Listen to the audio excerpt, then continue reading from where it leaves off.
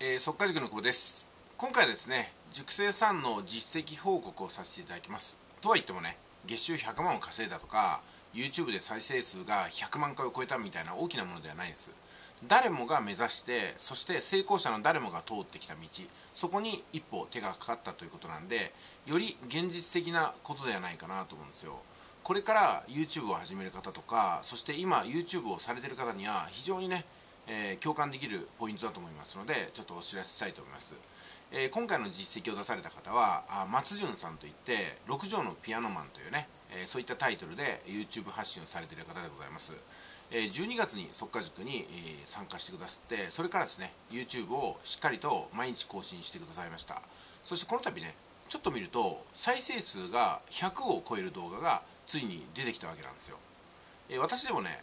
今チャンネル登録1万4000人いますけども再生数が2桁っていうのは結構あるんですよ。その中でチャンネル登録がまだ50人にも満たないねこの松潤さんがなんで再生数100を突破することができたのか。これはですねこれがあるから必ず行くんだよってことじゃないですけども松潤さんなりのこのね、えー、こんなことをやって数字を達成したんだよとかね、えー、こういうふうにやったからじゃないかなみたいなそういうふうなね自分自身の自己分析こちらの方が語られてますので動画の説明欄からねちょっとご覧いただきたいと思います。では私なりに分析させてもらいます。まずねこれサムネイルが人目を引くっていうのも一つだったんですけどもまず圧倒的にこれだっていうのは毎日更新していったってことなんですよ。そして視聴者さん一人一人を大切にしていました。松潤さんの動画を見ていただければ分かりますけども個人宛てにですね動画を結構出されてるんですよ、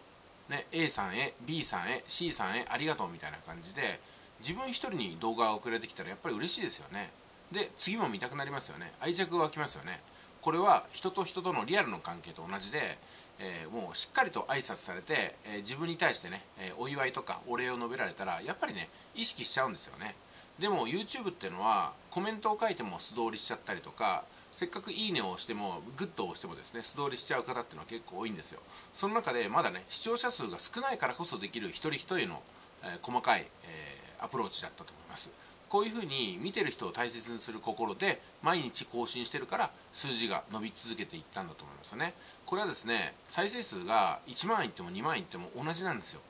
うん、むしろチャンネル回数がチャンネル登録者数とか再生回数が少ないからこそこの細かいところをやっていかなくてはいけないんですよね。でも多くの方っていうのは再生数が10とか20だったらなんだってなっちゃったりするんですよね。チャンネル登録が少なければなんだとかなるんですよ。でも仮にチャンネル登録が3であっても再生数が5であってもそこには確実に3人という人が自分の人生の中で貴重な時間を取り分けて見に来てください見に来てくれたんですよっていうふうなねそういうふうな証拠が残ってるんですよ。そこに動画発信者としては尊重心をこうね、えー、かけていくってことだと思います。その積み重ねがやっぱりね、えー、短期間で100以上の再生数を達成したという秘訣になるんじゃないかなとます。そしてテクニカル的な面を言いますとえ、ー、とねこれね